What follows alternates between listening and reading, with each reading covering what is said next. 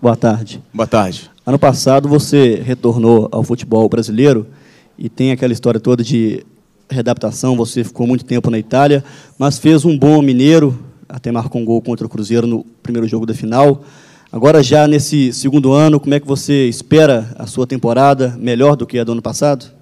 Bem melhor. Minha expectativa é essa, de que esse ano de 2012 seja um ano é, completamente diferente do que foi 2011. Né? Como você bem, bem mesmo frisou, naquela oportunidade do Campeonato Mineiro, onde eu tinha uma sequência maior dentro do Atlético, né? fiz sete jogos consecutivos. Então, isso fez com que eu chegasse àquelas finais do Mineiro, onde infelizmente perdemos, mas que o meu rendimento ele foi muito bom. Mancini, a gente tem uma imagem aqui, você fazendo o tal do exame isocinético. Precisa de tanta careta? Tanta careta? É, é, é, involuntário, assim, é espontâneo o negócio? É uma coisa já psicológica, né? Que você vai, antes de começar o teste, você já sabe que você vai sofrer, né? Então, é um teste muito, muito forte, que exige muito do jogador, mas foi bom que consegui uma boa performance. É normal essa careta pelo cansaço, pelo esforço que você faz durante a exercitação do, do trabalho. Mancini, até em relação ao ano passado, que você chegou aqui no meio do ano, depois da pré-temporada, existe uma diferença agora que você chega no Galo? Fazendo a pré-temporada, acredita que seu ano será melhor por isso? Sim, sem dúvida. Acho que quando você começa a pré-temporada com todo mundo, isso facilita muito. Porque quando eu cheguei no Atlético, eu cheguei praticamente no fim da pré-temporada. Então, eu cheguei é, fora de forma, sem meu ritmo de jogo adequado, com aquela coisa de fui contratado, então tenho que me preparar o mais rápido possível, com aquela pressa toda, e aí você acaba queimando etapas e isso te prejudica. E o que aconteceu comigo no ano passado foi isso. Isso me atrapalhou muito, né? Mas esse ano estou super motivado, estou super super feliz de, de, estar aqui no Atlético e espero que, que esse ano possa ser um ano completamente diferente, não só para mim, mas para o Atlético, porque foram dois anos aí árduos, dois anos difíceis é, para o Atlético. Esperamos que 2002 não, não se repita. O Mancini, o clássico contra o Cruzeiro aconteceu há mais de um mês atrás, mas é de novo esse clássico. Um assunto recorrente, né? E ontem o presidente Alexandre Calil esteve aqui, e desde que vocês estavam de férias, acredito que tenha sido o primeiro contato dele com, com o grupo inteiro. Teve alguma conversa, já que na semana seguinte ele se mostrou bastante insatisfeito por conta do desempenho do time, houve toda aquela polêmica quanto à premiação que seria paga e ele suspendeu. E também uma notícia não, mas o boato que a gente ouviu que talvez os jogadores, mesmo com ele querendo pagar, abriram mão por conta do resultado no clássico contra o Cruzeiro. É, o que aconteceu no clássico do ano passado é uma coisa que já está cancelado, né? não na mente né, do torcedor, nossa, porque foi realmente uma coisa desastrosa. Mas os jogadores estão cientes de que, que esse ano de 2012 a gente tem que novamente reconquistar essa confiança do torcedor, de reconquistar esse, esse carinho do torcedor, porque realmente estamos devendo ao torcedor. Com relação ao prêmio, o Alexandre, naquela oportunidade, disse que não pagaria.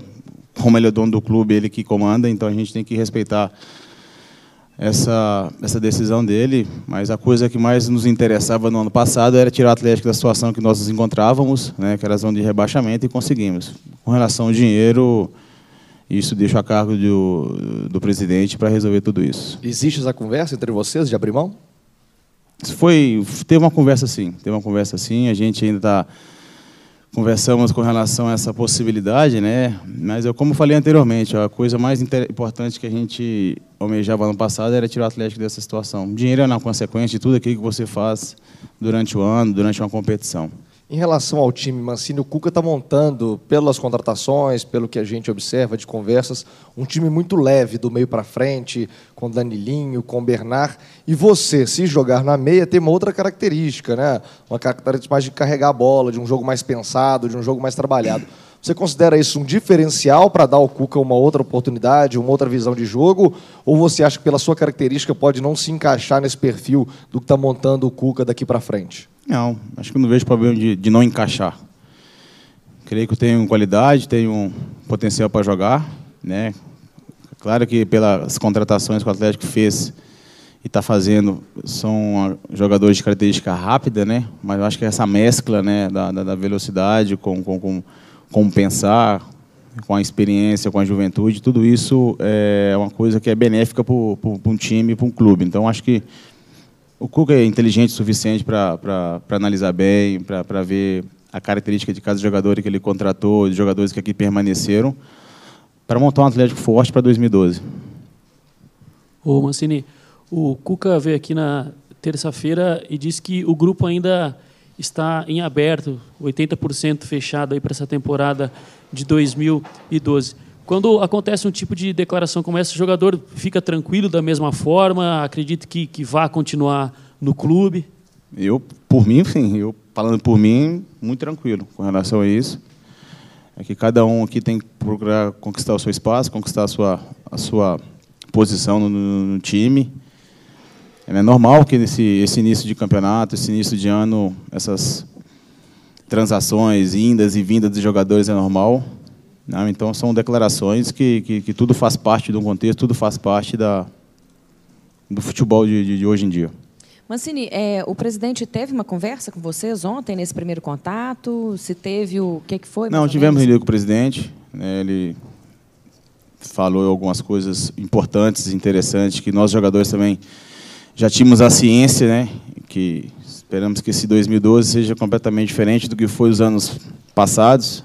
Né? Ele se mostrou muito, muito triste, chateado, é normal, porque ele é um presidente, um torcedor do Atlético, então a gente fica realmente triste por tudo aquilo que, que aconteceu. Mas está com o grupo, acredita muito no grupo, né? sempre deixou bem claro com isso. E aquilo que ele falou, esse ano vai ser um um presidente mais, mais presente no dia a dia, né? vindo mais no CT. É, até brincou com a gente, falando que vai ter uma salinha para ele ali. Mas acho uma coisa positiva, né? um, um presidente que gosta do, realmente do, do, clube, adora futebol, como ele mesmo fala. Eu tenho certeza que tudo isso vai nos trazer mais motivação para treinar, para conquistar coisas boas dentro do Atlético. É, o Mancini, historicamente o Atlético tem é, como dar oportunidades para jogadores mais jovens. Esses jogadores da base surgir, alguns até com destaque internacional. A gente pode citar alguns nomes. E do grupo do Cuca, que está com o Cuca aqui hoje, 14 deles são jogadores que surgiram na base, você inclusive.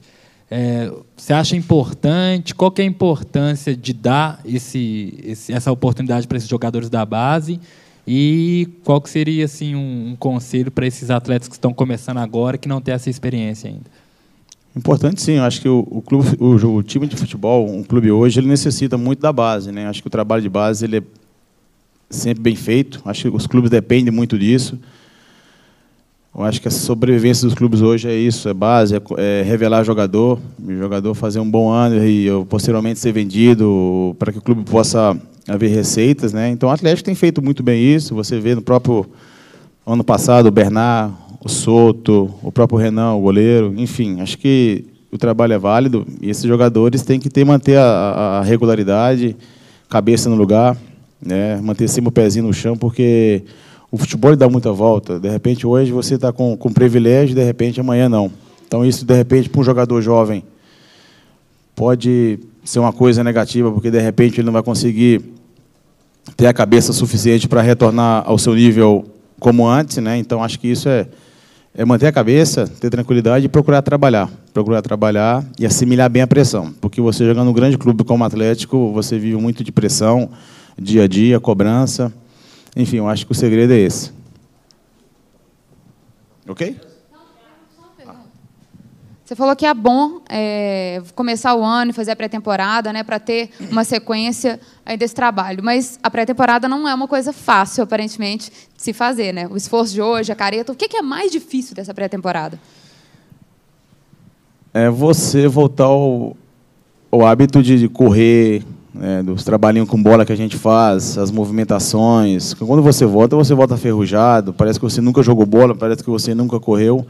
Então, até o corpo se readaptar ao trabalho é doloroso. Eu creio que a primeira semana é bem árdua, é bem difícil, bem complicada, dor todos os dias, de todas as partes do corpo.